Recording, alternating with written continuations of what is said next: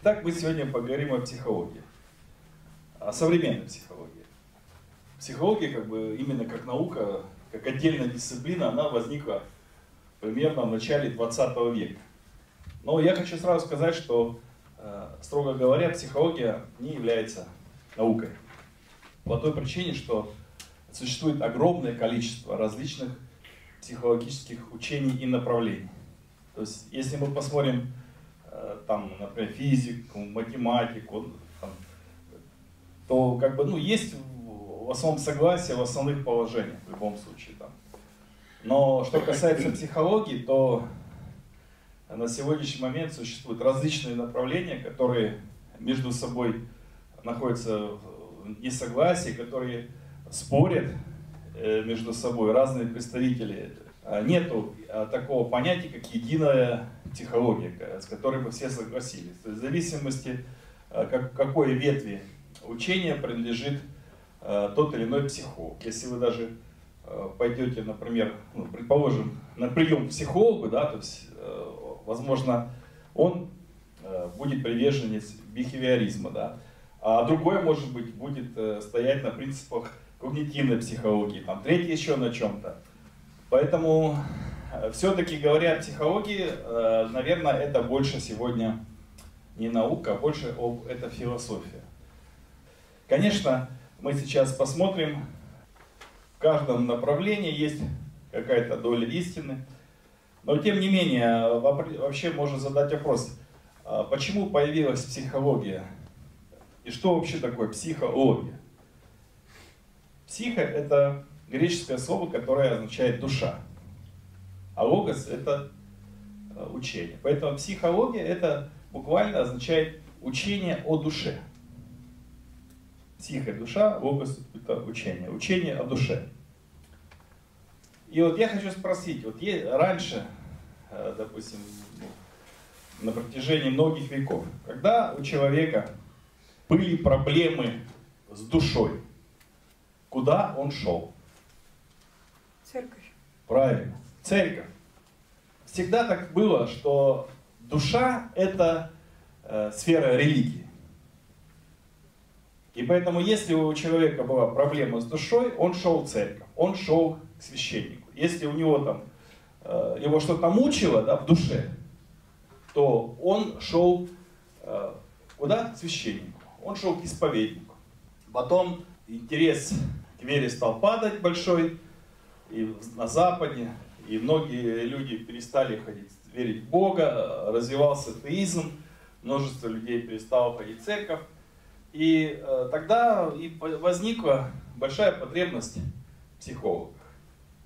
Потому что если у человека есть проблемы с душой, а в церковь он идти не хочет, то тогда что? Тогда он идет к психологу. Как бы они психологи, они заняли эту нишу. Поэтому, как я сказал, что есть большое количество различных течений и направлений психологии, но я просто выделил три, наверное, наиболее известных и наиболее влиятельных течения психологии, которых вам вкратце хочу рассказать. Я думаю, что вы, возможно, даже слышали о некоторых из них. И, конечно, самое первое мы поговорим о психоанализе и Зигмунде Фрейде. Но ну, я думаю, что имя такое, все слышали, Фрейд, да? Это достаточно известная личность. Он родился в 1856 году, умер в 1939. В Австрии, выходец из еврейской семьи. Стал заниматься медициной, э, он профессор, вот, занимался практикой лечения неврозов. Ну и как бы на основании этой практики, в общем-то, родилось его учение, о котором мы с вами поговорим. Скажу сразу, что он был убежденным атеистом. В Бога он не верил и э, считал, что религия это навязчивый невроз. Это от этого было отношение к Богу и к религии. Ну, естественно, э, свое учение он тоже, конечно, строит на атеистических началах. Итак, Фрейд, он э, вводит такое понятие, или можно сказать так, что Фрейд, он приходит к открытию. Э, он открывает э, подсознание. Вот это слово, оно сегодня достаточно э, у нас распространено, когда мы говорим, что вот есть сознание, есть подсознание. Я думаю, что как раз таки это заслуга Фрейда, потому что как-то до него ну, было принято в кругу атеистов, что есть просто сознание, есть просто разум. Вот, нет ничего там потустороннего. И э, есть просто сознание, это еще Джон Лок э, ввел такой термин табула раса, пустая доска.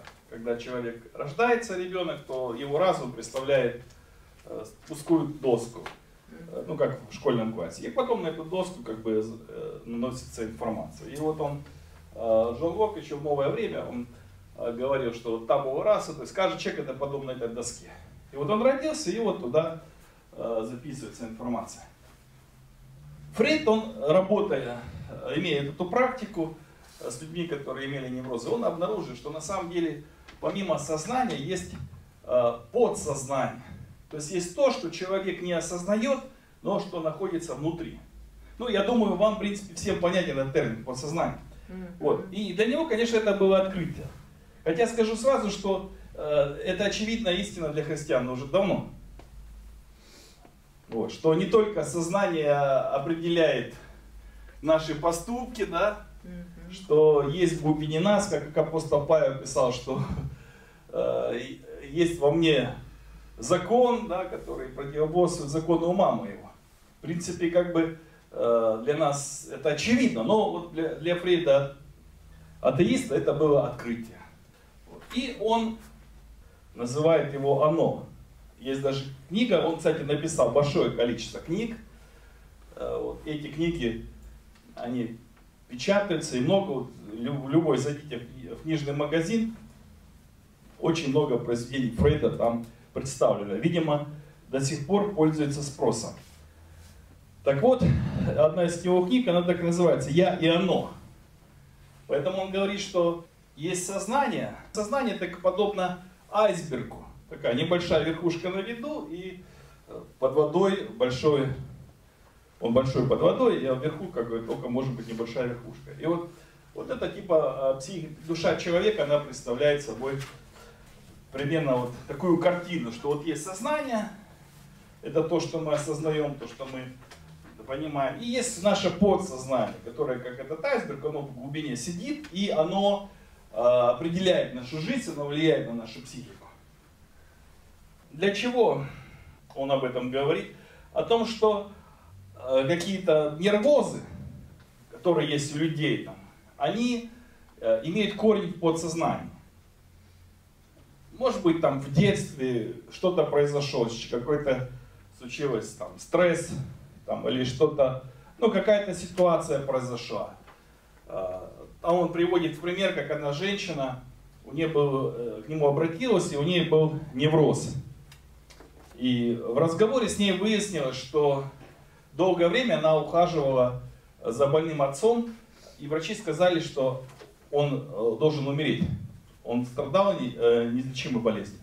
Но врачи также эту девушку попросили, сказали, что, пожалуйста, только не говорите ему. И поэтому она всегда приходила к нему в комнату, она улыбалась, она его подбадривала. И при этом внутри сама она знала, что он должен умереть.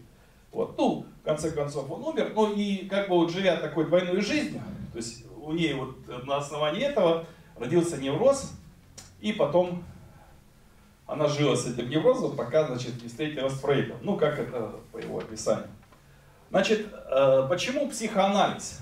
Психоанализ это как раз таки заключается в том, что психолог, психоаналитик, он э, пытается прокопаться в этом подсознании и вытащить из подсознания э, то, что является причиной невроза. Все находится в подсознании, как считают психоаналитики. Ну, каким способом? И здесь Фрейд как бы предлагает три способа, как можно залезть в подсознание. Ну, скажу сразу, вначале он практиковал гипноз. Он вводил людей в состояние гипноза, и ну, потом он э, убедился, что это неэффективно. Поэтому он дальше перешел э, к другим способам. Это что? Э, первое толкование сновидений. Даже его книга так и называется, толкование сновидений. То есть, например, нам снятся сны, и он говорит, что вот когда человеку снится сон, то, то это все э, э, показывает его подсознание. И, э, например, когда человек, он приходит к психоаналитику, он рассказывает свой сон, и как бы э, какие-то вещи, которые ему снятся, они могут быть ключом к пониманию, что сидит в этом подсознании. Второй способ это оговорки. Я думаю, что вы наверняка все слышали эту расхожую фразу, называется оговорка по Фрейду. Он говорит так, что, допустим, человек говорит о чем-то, рассказывает, и потом делает какую-то оговорку. Ну, знаете, что такое оговорка, да? То есть ты сказал и какую-то глупость сказал. Но и на самом деле психоаналитик, если ты оговорился и сказал какую-то глупость, то психоаналитик, он скажет, нет, нет, нет, это ты не случайно говорился, это значит, что-то в тебе сидит. Вот. Ну, в общем-то, эта фраза, оговорка по Фрейду, она теперь вошла в язык, и даже как-то, ну, порой мы как юмор ее воспринимаем, когда человек какую-то сказал глупость, и мы говорим, а, это оговорка по Фрейду, это значит, ты, это ты, значит, к этому неравнодушен. Да, значит, это в тебе сидит. Ну, вот это идет именно из вот таких, э, из фрейдовских заключений. Оговорка по Фрейду. Значит, психоаналитик, он анализирует оговорки. Вот. И третье, это способ, который используется, просто человек приходит и начинает, он говорит, говори все подряд. То есть э, старайся не контролировать себя, вот просто пусть из тебя льется э, поток речи, как бы, пусть это будет какая-то глупость, ну, короче, побуждая человека говорить все подряд об, обо всем, а психоаналитик типа вот сидит и слушает, ну и потом он пытается вот истолковать, чтобы найти корень когда корень этот находится, он вытаскивается из подсознания, э, потом это нужно как-то осознать, сделать выводы, и таким образом, как человек получает исцеление от невроза. Ну, вообще-то звучит оно как-то достаточно логично, но, знаете, когда Фрейд вот это э, выпустил, эту теорию, то она была очень популярна в Америке, и вообще э, фрейдистическая психология была до 60-х годов очень популярна в Америке, и потом в Европе. И ну, вообще 20 век это век популярности фрейдизма.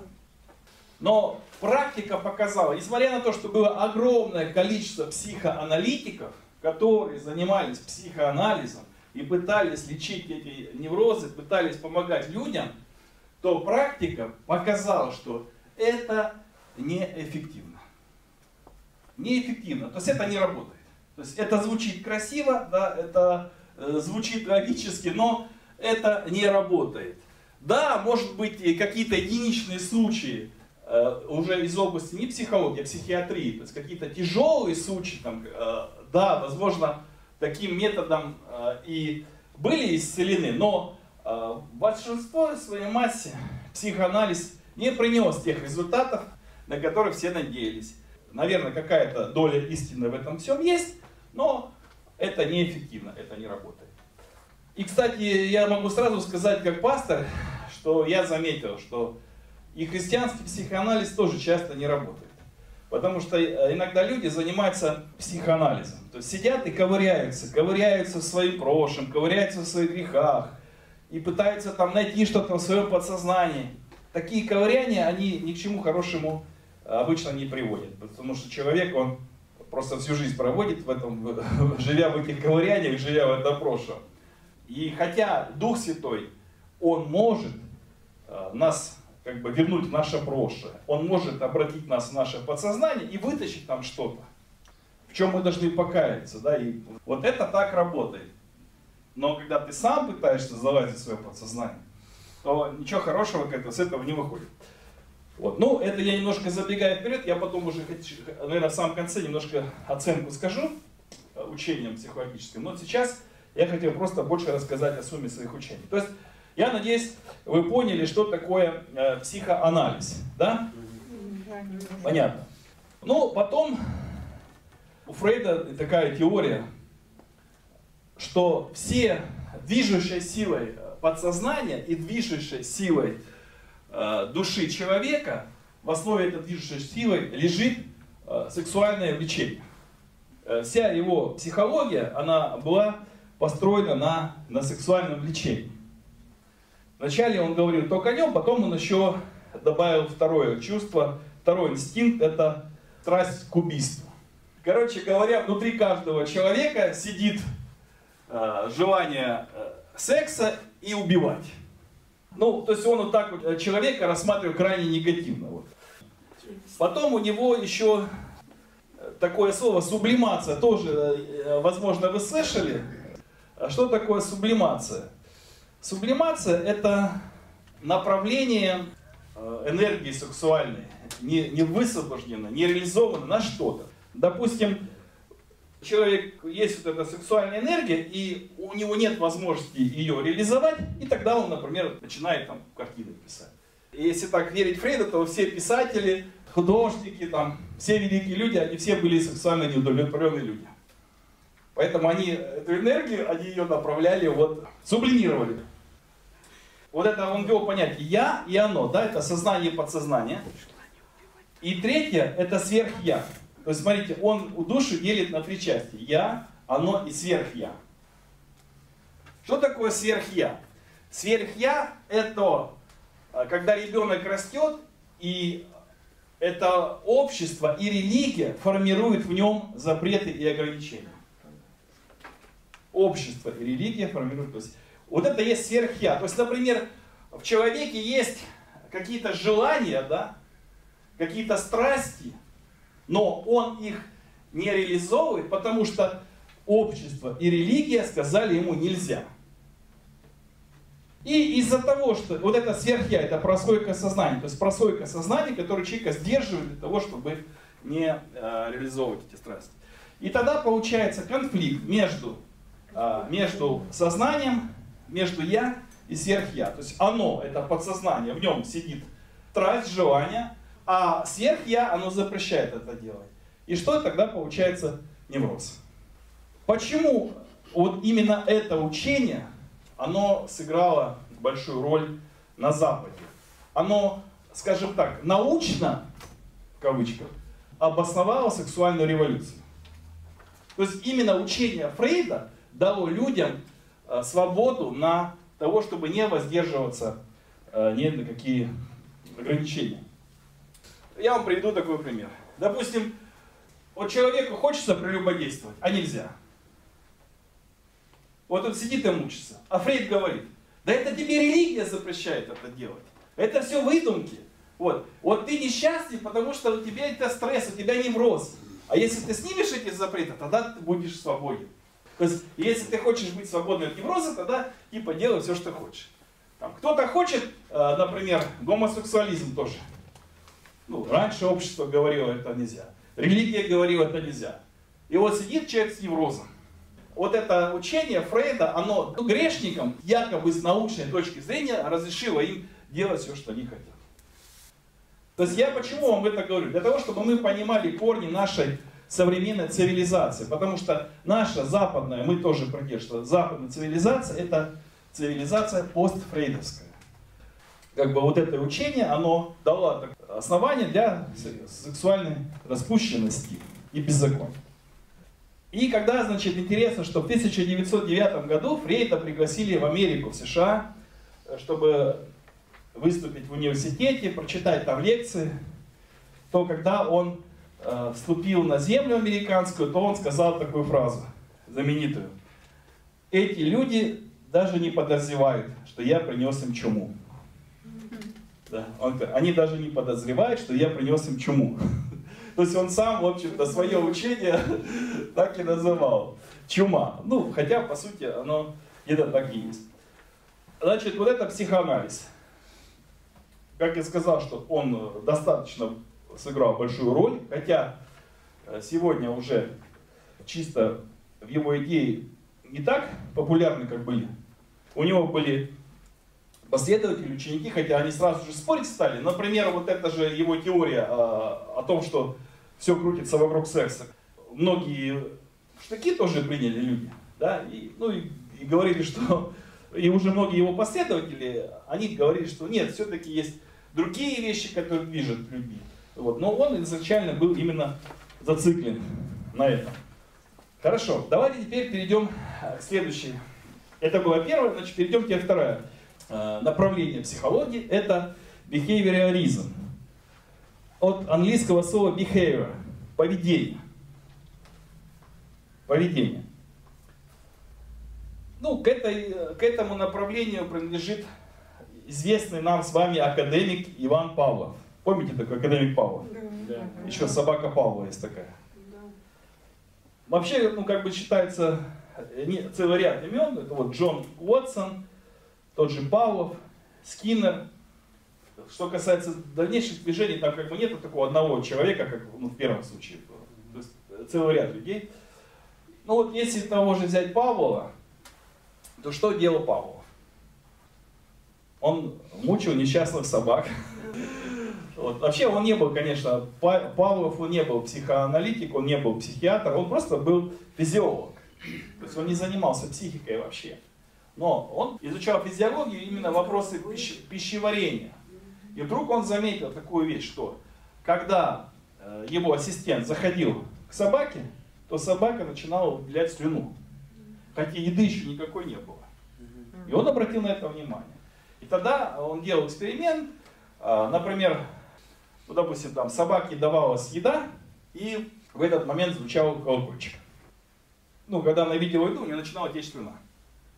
Потом, например, в следующий раз э, прозвенел колокольчик, а еды не дали. И слюна опять течет. И казалось бы, зачем течь слюне, если еды нет? А получается, собака услышала колокольчик, и у нее начала течь слюна. То есть это уже вопрос, что это? То есть условно, безусловно инстинкт. Но было такое понятие. Что делают бихевиористы? То есть они, в принципе, исследуют животных, и на основании как бы, вот, жизни животных они переносят вот эти знания, которые дают нам животных, на людей. Вот, например, мне такая интересная книга попалась. Это тоже известная ученая бихевиорист Карен Прайон. Она ученая, психолог и дрессировщица. Она дрессирует и лошадей, и собак, и китов, и дельфинов, и даже рыб в аквариуме. Ну и вот она написала такую книгу, значит, э, как дрессировать животных, людей и самого себя. То есть оказывается, ну, как когда утверждает, что те принципы, которые используются при дрессировке собак, например, там, или животных, то те же самые принципы можно использовать для дрессировки людей а, или даже самого себя. В принципе, достаточно как бы просто, как она э, дрессировала рыбу в аквариуме. Там она повесила кольцо такое, через которое рыба должна была проплывать.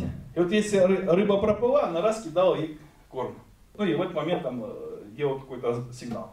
И в конце концов рыба поняла, что если она проплывает через кольцо, то значит получит корм.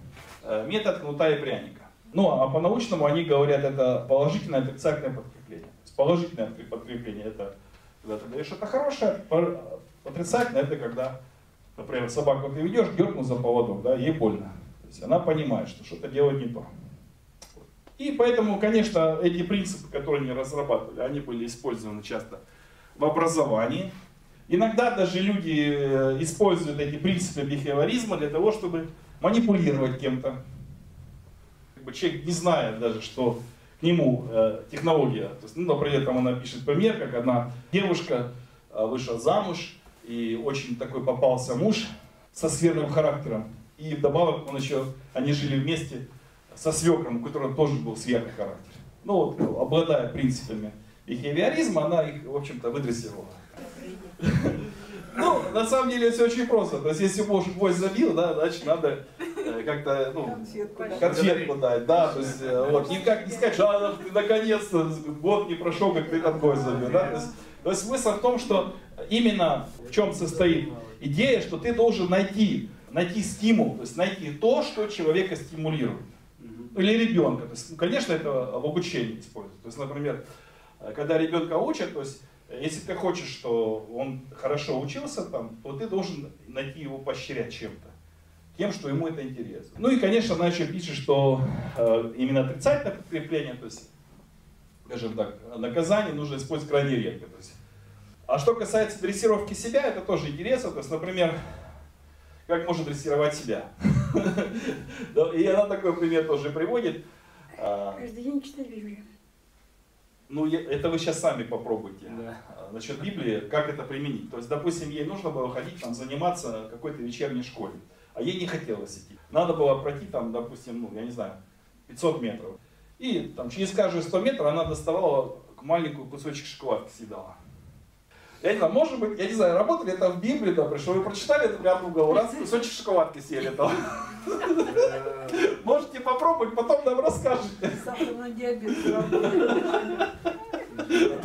Пока, пока всю Библию прочитаешь, точно сахарный диабет обеспечен. Ну, мы смеемся, а на самом деле это серьезно научное учение психологии. Достаточно даже сегодня популярно. Вот. И третье – это когнитивная психология.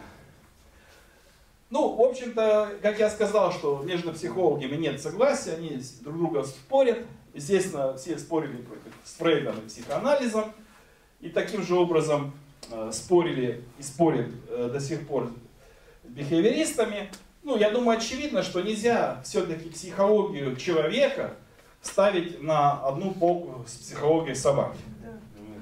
Вот. Я думаю, что э, критики правы, что все-таки человек это разумное существо, да, и, конечно, есть общие принципы, да, конечно, мы согласны, что э, есть, что мы чем-то на животных похожи, но все-таки э, сводить всю психологию человека с психологией животного, конечно, это слишком примитивно.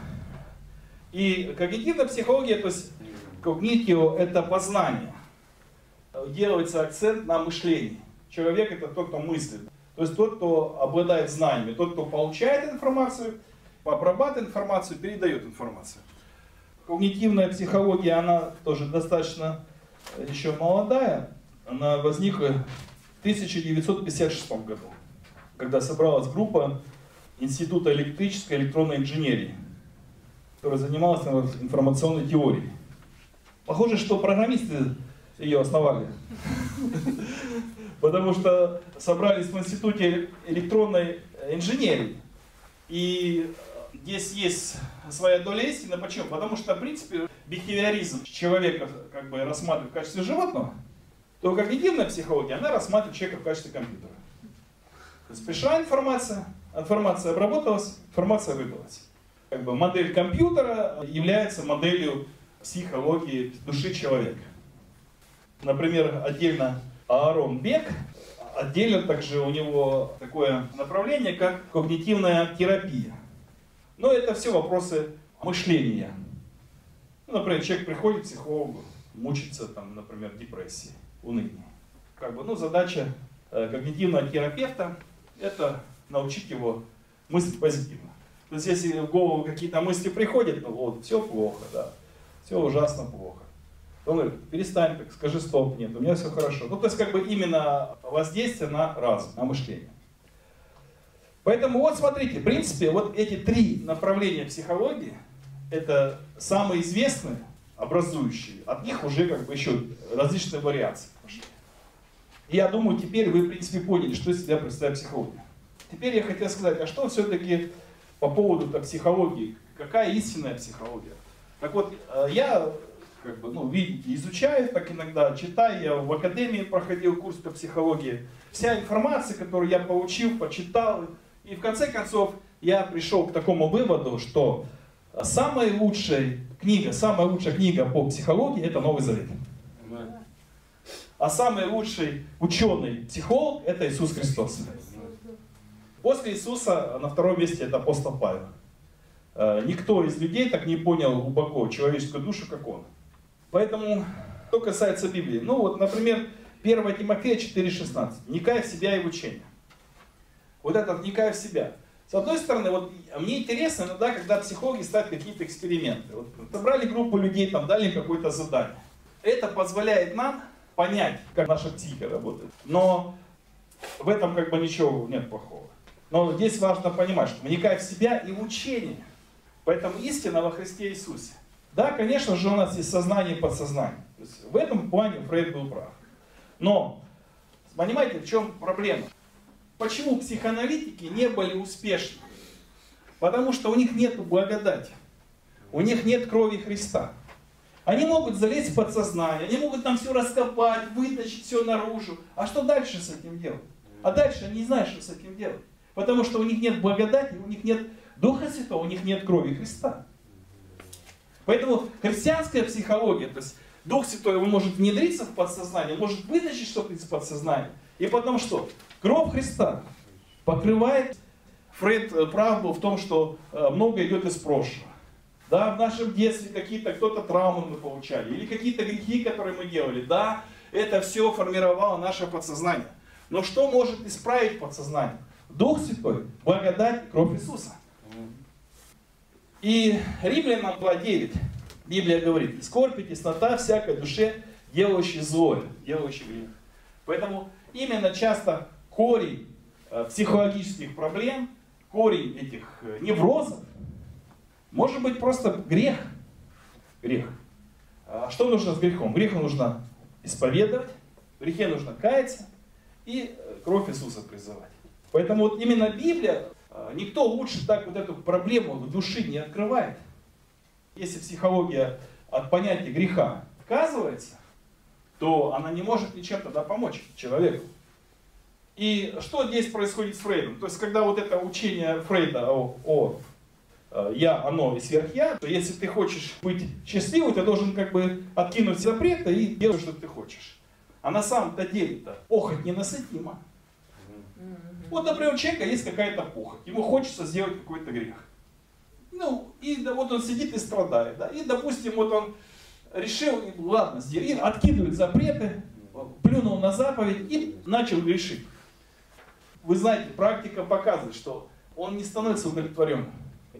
Ему еще больше хочется, еще больше. То есть Э, потому что когда Бисабим, не давайте место дьяволу. Если ты один запрет снял, потом другой, и человек, он просто прогрессирует в грехе, и грех его засасывает, и грех его счастливым не делает. Поэтому на самом деле Библия говорит, что те, которые Христовы, распяли свою плоть со страстями, похоть. То есть если в человеке сидит вот это желание, то надо наоборот это желание выкинуть из своей жизни, отказаться от него. И это путь к счастливой жизни. Э, что касается того же подсознания, вот Галатам 5.17. Плоть желает противного духа, дух желает противного плоти. Э, наше подсознание, оно соприкасается с духовным миром. Через духа очистив души. Душа это психика, да? Очистив душу. То есть наша психика, это наша душа. Э, для того путь к исцелению это омытие крови Христовой.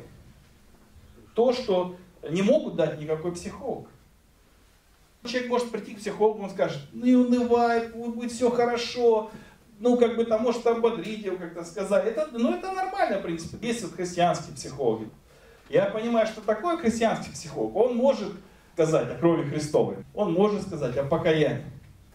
А так просто придет человек, ну да, он его там ободрит, скажет, там, что-то, чем-то, может, хорошим словом поможет. Иногда кому-то это даже может чем-то помочь. Но кардинальная проблема исцеления души психология дать не может. Потому что только кровь Иисуса очищает души, как мы прочитали 1 Петра 1.22. Очистив души, нам написано. Потом любите друг друга от чистого сердца. И Галатам 5.22, вот же духа, любовь, радость и мир. Это, в принципе, кто э, к чему стремятся, то есть конечная цель психологии, сделать человека здоровым и счастливым.